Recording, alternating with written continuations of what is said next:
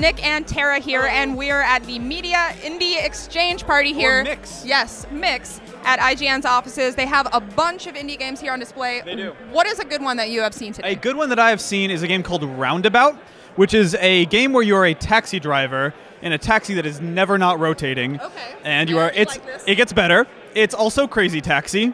okay. It gets better. It's also open world. So you are going all over this city anywhere you want in a rotating limousine. And it's basically this it's like this Japanese game called Kururin that came out on the GBA except for no Americans know about it. So it's taking advantage of that and it's super weird and there's lots of full motion video cutscenes with real human beings. It's it's the weirdest thing ever. It's by a company called No Goblin, who's like a weird indie studio. is it one of those games where it's just like a game for the sake of being a game, or is Yes. there like an actual like real goal? With There is none percent story, but there are objectives. Like there's stuff to do. It's really colorful and goofy, and I want to like get really good at it, which is a good instinct I think to have. Yes, I agree. Uh, speaking of games with objectives, I played Videoball, which That is a game with an objective. It is. It is. I guess kind of like a mix between Geometry Wars and soccer.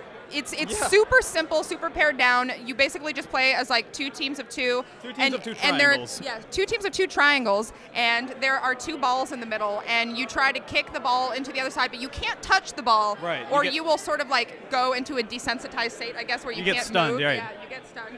Did you play this game? I, I feel did. like you know a lot about it. It is. It's a EC Sports. It's really fun, right? Hardcore Tim Rogers esports coming right to you from the man who made Ziggurat. It's really, really straightforward, and you immediately get it within 30 seconds of playing it. Yeah, it is. It's a really good co-op game. I went in there and I was like, "Huh, what's this?" And then like somehow I wound up there for like three matches. Yeah. People behind me in line were getting really upset. You get really competitive really yeah, fast. It's impossible um, not to. Yeah.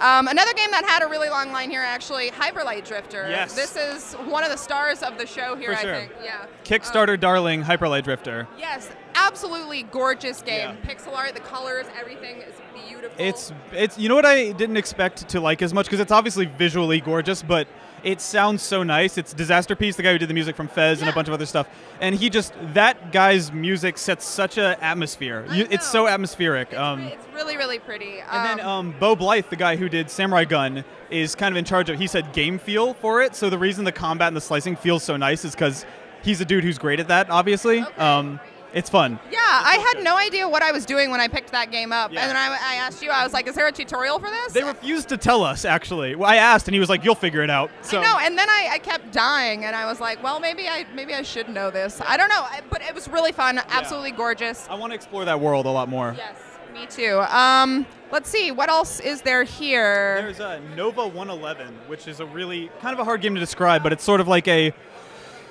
It's a roguelike, except for it's really, really not a roguelike because they built all the levels in advance. But basically, you're exploring through this fog of war, like 2D, turn based, bump into dudes to attack them, minimalist roguelike. But there's real time elements. So if you walk under, like, for example, a stalactite, it'll fall down in real time. Or there are enemies that attack you in real time. So even though it's turn based, you have to go kill them before they kill you because they kill you within a few seconds. Describing indie games is one of my favorite things ever Yeah. because it's like you, you just can't. You can't do it without coming across as a crazy person, You really but- can. Um, but of course, there are going to be a ton more games here and Right. games that we're going to be seeing throughout the week at GDC. So if there's anything you guys want to see, and Is that, was that Rami from Vlambeer? Oh hey. Hi. Hey. What are you? oh. How how are you? Good. Uh, good. Hi. Hi. Uh, yeah. Hi. Independent video games today. Uh, yeah. Uh, the Night in the Woods is pretty good. Uh, have you heard of this game? I think it's like Lu- Luft Trousers or something. uh, yes, we're gonna be launching that tomorrow. I'm really, really nervous about that. That's your game. Yeah, that's my game. Yeah, yeah. I'm excited. It's uh, it, we've been working on it for two and a half years, so I'm I'm really nervous, but I'm happy. I'm excited. It's about time. Thank you for walking into our video randomly. I'm so sorry. That was not Oh, that was not planned at all, guys. That's GDC.